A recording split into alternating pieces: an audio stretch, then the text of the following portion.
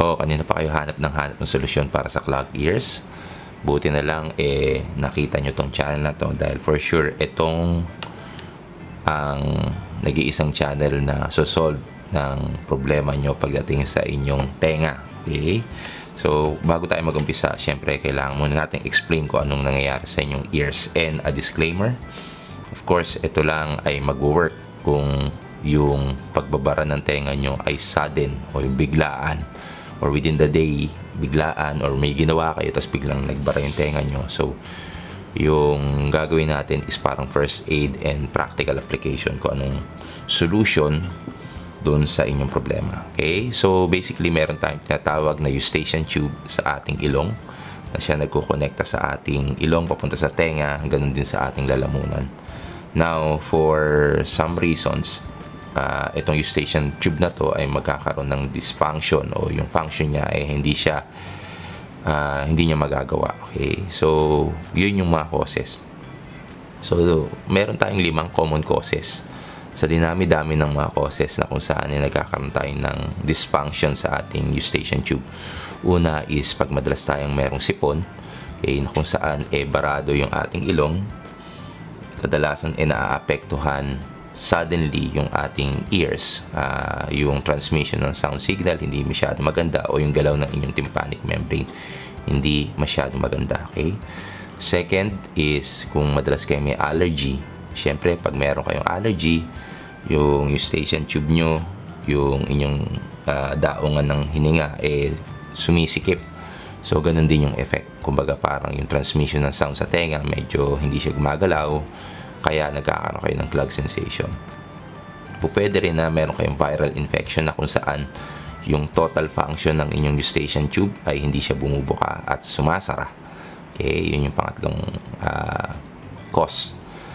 Ang pang-apat at pang-lima is pag meron kayong sudden changes sa inyong uh, environment or sa altitude na kung saan kayo nakastay. For example, uh, nasa ground kayo, tapos biglang mabilis na pag-change ng altitude. Okay? Ganun din naman sa pagsisid sa ilalim ng tubig. Okay? So, yun. Uh, yun yung 4 and 5. Pag yung mabilisan na increase ng altitude, tulad ng pagsakay sa aeroplano, pagsakay sa mabilis na elevator, uh, minsan pag meron kayong sipon, tapos bumiyahe kayo sa matataas na lugar via car, yon mararamdaman nyo rin na yung tenga nyo ay magka-clog. Okay, minsan naiipit doon. Okay. Ganun din sa pagsisid. Kasi yung pagsisid, o yung paglipad kasi parang yung pressure nyo sa labas ng katawan is palabas. Ngayon, pagpasisid naman yung pressure sa labas papunta paloob. Okay, so yun yung mga causes kung bakit yung eustachian tube nyo ay nagsasara. Okay, bago natin banggitin yung ating technique is uh, I hope you guys subscribe, like this channel, share this page, and comment down below kung uh, kung if you're experiencing the same problem kaya kayo naghahanap ng solution dito sa YouTube. And now we begin with our practical solution. Okay? So, dati kasi parang binibigay ko lang isa. Pero parang ginagawa natin, pinokombo na lang natin para kahit paano eh isang one-stop solution sa inyo at nag, na babalik ko na yung ating fluency pagdating dito sa pagbablog. So, meron tatlong solution. Okay? Napaka-simple lang, tatlong solution since nabanggit nga natin na na ang kadalasan eh yung sipon ang ating problema, syempre gagamutin muna natin yung sipon. So inom kayo ng gamot, uh, ang pangalan ng gamot is decongestant o gamot sa sipon para lang mailabas yung sipon o matunaw yung sipon. Pero yung decongestant kasi is to decongest or matanggal yung clog sensation sa inyong ilong. So it works the same or uh, subsequently nakakatulong din siya sa clog sensation sa tenga. So habang hinihintay natin na na mag-take effect yung gamot, ang gagawin nyo next is maglalagay kayo ng warm compress sa likod ng tenga. Okay? Warm compress sa likod ng tenga. Yun yung step number 2. Yung purpose ng warm compress is to uh, relax the muscles. Okay? Or relax also yung mga matitigas na fluid na nakaklag sa inyong tenga para mabilis nyong mailabas, maisinga or ma mapaluwag yung inyong uh, nasal pathway. Okay? And yung pangatlo is uh, combination, no? O pwede rin gawin yung yung tinatawag nating Valsalva maneuver or Toynbee. Okay? Yung Valsalva maneuver basically is uh, breathing exercise siya na kung saan e pinupwersa natin yung ating hinga palabas sa ating tenga. Okay? Paano natin gagawin yun? Since connected yung ilong tsaka tenga, kailangan sasarado nyo yung ilong nyo tsaka yung bibig nyo while doing this breathing exercise. So, paano ginagawa yon? Hinga kayo malalim. Close your nose and mouth. Then exhale. So, maririnig nyo magpapap yung ear nyo. Okay, papap palabas. So, ibig sabihin na na-achieve nyo yung pagpapaluwag ng inyong eustachian tube dahil nga bumuka na yung inyong eardrum. Okay?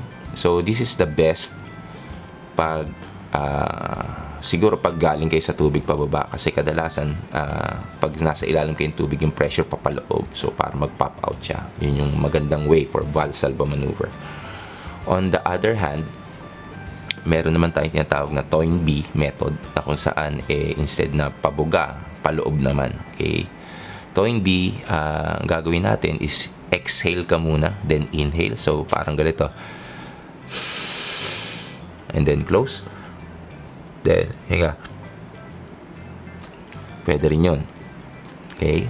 Kaya ako ngumangadal kasi parang nireset ko yung aking eardrum. So, pwede rin na ganun. Kung hirap kayong huminga habang nakasarado yung ilong, ang gagawin nyo is lulunok na lang kayo. Ganon din yung effect. Kasi pag magkakaroon siya ng vacuum, pasak in sa loob ng katawan para kung sakaling meron mang mga fluid is papasok siya sa inyong uh, sa inyong gastric fluid. Yan, gastric fluid yung ating ano doon. Alright? So, kung hirap din kayo, is po pwede nyo gawin, is habang nakasarado yung ilong, iinom kayo ng tubig. Para malulunok nyo ngayon yung inyong mga uh, uh, kung ano man yung nakabara o, o para maklear yung pathway. Okay? So, if it works for you, then good. Very good. Uh, share nyo tong video. Pero kung hindi naman, uh, within the span of one day, we would suggest to see a medical practitioner kasi baka mamaya eh na mas kailangan nyo na ng medical attention pagdating dun sa ears nyo. Kasi tulad nga nabanggit natin kanina posibleng baka na virus yung tenga nyo na kung saan eh meron lang kayong time period na 12 to 24 hours para magamot ito. Again this is Sir Ero saying we will make the disabled able paano natin gagawin yon by hitting that subscribe button and notification bell for now wala tayong ganong announcement kasi uh, it's still uh, mid or patapos na yung May Okay, kung meron man kayong mga hearing problems or mga questions, please comment down below. Uh, baka sakaling makatulong tayo. Until then, see you soon. Bye!